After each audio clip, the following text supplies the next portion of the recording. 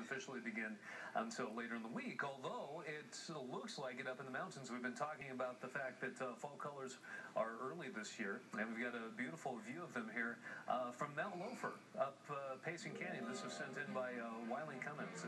An absolutely beautiful view there. And while we're at it, uh, he sent another one in uh, looking from a different direction out over the valley. Absolutely beautiful shot. And if you're out and about enjoying the fall colors or just the uh, sunshine and want to send us any photos, you can do that to news at fox13now.com. And today would be a good day to get up and look at them. It's going to be a lot more comfortable if you wanted to go on a hike.